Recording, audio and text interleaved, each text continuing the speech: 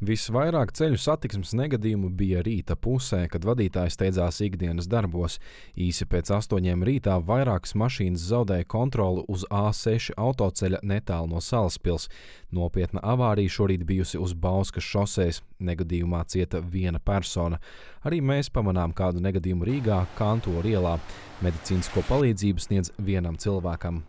Pie šī BMW X3 stūres bija sieviete ar 25 gadu stāžu. Kā saka paziņas, kuras tagad meklē auto evakuatoru, sieviete vienmēr braukusi uzmanīgi.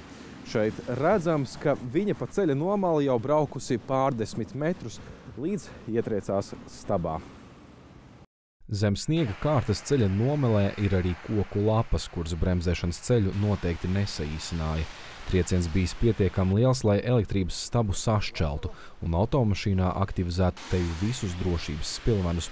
Vadītāja nav guvusi dzīvībai bīstamas traumas, vien pārsists deguns, bet mediķi viņu tāpat nogādā medicīniskā iestādē, lai par to pārliecinātos.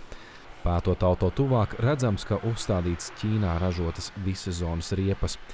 Šorīt no 6 līdz 10.30 rītā valsts policija reģistrējusi 61 satiksmes negadījumu, 57 negadījumi bez cietušajiem, bet 4 gadījumos cilvēki guvuši traumas.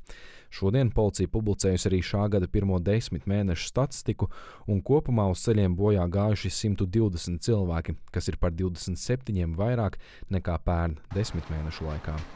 Dāvids Frenefalds, Ivors Žepickis, Latvijas televīzija.